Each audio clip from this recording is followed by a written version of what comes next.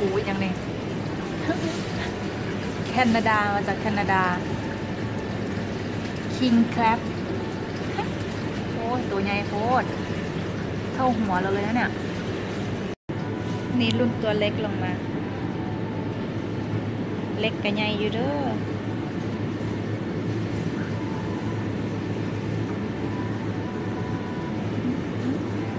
ไปกันละ ไปกันละ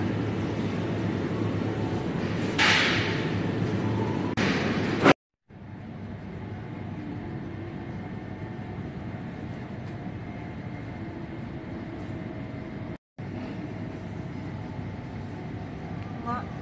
ดำหมดแล้ว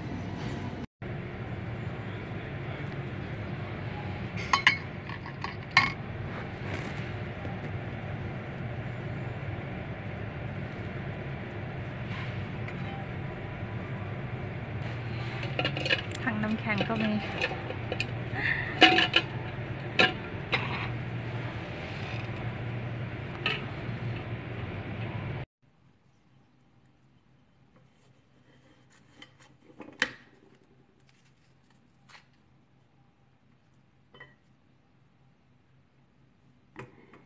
ที่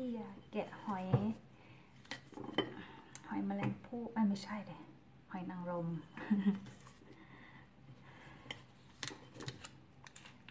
แกะหอยนางรมไม่ได้นะคะเนี่ยแกะยากใช้มีดดีกว่า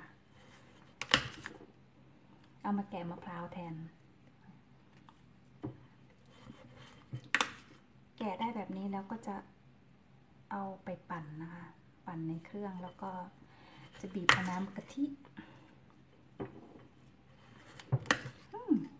ครั้งแรกนะคะนี่ที่ทำแบบนี้ปกติก็ใช้กระต่ายขูดนะคะ ค รั้งนี้ลองทำอะไรใหม่ๆดูดูเล็กเหมือนกันนะคะ แต่ถ้ากระต่ายขูดใช่ไหมมันจะตรงเนี้ยมันจะเราจะไอ้นี่ได้ไงว่า ควบคุมได้ว่าไม่ไม่เอาตรงสีน้ำตาลรอบตรงนี้ แต่ถ้าแกะมาอย่างนี้แล้ว มันก็จะออกมาแบบนี้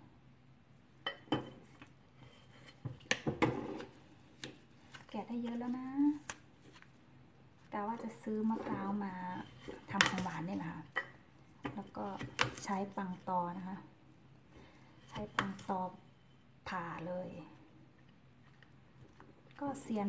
เซียนผ่ามะพร้าวเลยนะคะเออเซียนมันต้องเก่ง อันนี้อันนี้พอทำได้ค่ะ แต่ว่าขี้เกียจมาก การผ่ามะพร้าวเป็นอะไรที่ไม่สนุกเลย ไม่ง่ายด้วย แต่ว่าความจำเป็น คือมันมีมะพร้าวที่ต้นนะคะ แล้วก็การใช้มะพร้าวที่เรามีอะมันอร่อยกว่าไปซื้อมันสด แต่ปัจจุบันนี้เขาซื้อที่ตลาดนะคะ ที่เขาทำกับเครื่องอะปั่นหรือว่าเขาเรียกอะไรคั้นกับเครื่องนี่ไม่ใช่คั้น ปั่นเนาะบีบหรืออะไรไม่รู้ ค้าเขาจะซื้อตรงนั้นสำเร็จ แต่บางคนก็ยังใช้กะทิที่แบบว่าหาซื้อกะทิตามบ้าน ที่บ้านก็ขายมะพร้าวนะคะ แต่ก่อน ไม่ใช่ไม่ใช่ขายเป็นธุรกิจนะคะ แต่ว่ามันมีต้นมะพร้าวเนาะคนแถวบ้านเขาก็จะทำขนมเค้กอะไรเงี้ยเขาก็จะมาขอซื้อนะคะ ว้าว ได้เยอะอุ้ยเสียงดังไหม เยอะแล้วค่ะได้เยอะเหลืออีกอันหนึง